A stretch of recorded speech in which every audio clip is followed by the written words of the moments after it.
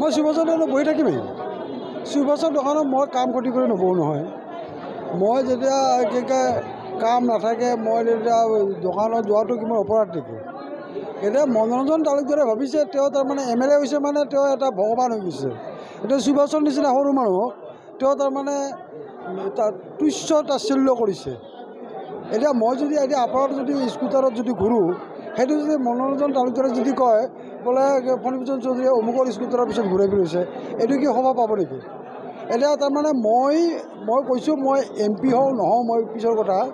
কিন্তু মই সুভাষৰ দোকানত বহিমেই মই ই ৰিক্সাত উঠিমেই মই ৰিক্সাত উঠিমেই মই টেম্পুত উঠিমেই মই তাৰমানে এই সুভা কি কয় আগৰ যি মোৰ যিটো যিটো তাৰমানে মোৰ দৈনন্দিন জীৱন যেনেদৰে যাপন কৰিছিলোঁ একেধৰণে মই এতিয়া কৰি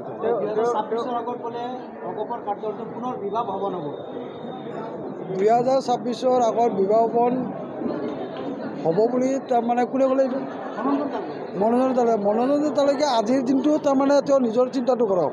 এতিয়া তেওঁ চি পি এমৰ কি অৱস্থা হৈছে?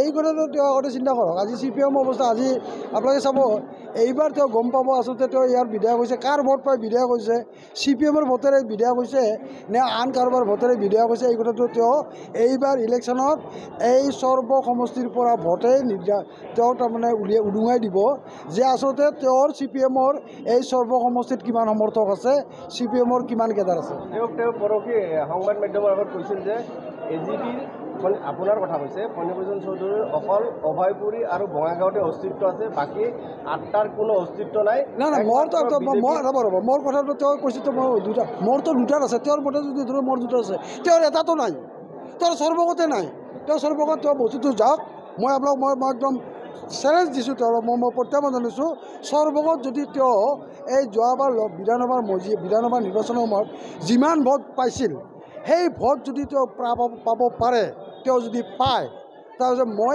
সিদিনাই তাৰমানে মই ৰাজনৈতিক জীৱনৰ পৰা মই সন্যাস ল'ম। আৰু এটা কথা কৈছিল সংবাদ মাধ্যমৰ আগত যে আপোনাক বিজেপিয়ে ঢাল হিচাপে ব্যৱহাৰ কৰিছে। কি ক'ব? সেইটো বস্তু ঢাল হিচাপে ব্যৱহাৰ কৰিছে তৰাল হিচাপে সেইটো আমাৰ নিজৰ কথা। তেওঁ তাৰমানে তেওঁ পৰৰ কথাত মাত মাতিব তেওঁ পৰৰ সংসাৰত পৰৰ পৰিয়ালত মাত মাতাৰ তেওঁৰ অধিকাৰ নাই। তেওঁ নিজৰ পৰিয়ালটোক আগতে চম্ভালক তাৰপিছত হ'ব। দ্বিতীয় স্থানত থকা বুলি কৈছে।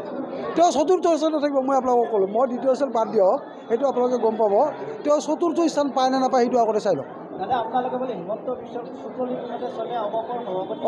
অসম গণ পৰিষদ দল এটা ৰাজনৈতিক দল আঞ্চলিক ৰাজনৈতিক ঊনৈছশ পঁচাশী চনত আঠশ পঁচপন্নজন শ্বহীদৰ কি কয় তাৰমানে ত- ত্যাগৰ বিনিময়ত গঠন হোৱা এটা দল গতিকে অসম গণ অসম গণ পৰিষদ দলৰ নিয়ম গোটেই অসম গণ পৰিষদৰ নীতি আদৰ্শ আছে অসম গণ পৰিষদৰ এখন সংবিধান আছে আৰু সংবিধান অনুযায়ী অসম গণ গণ পৰিষদ পৰিচালিত হৈ আছে।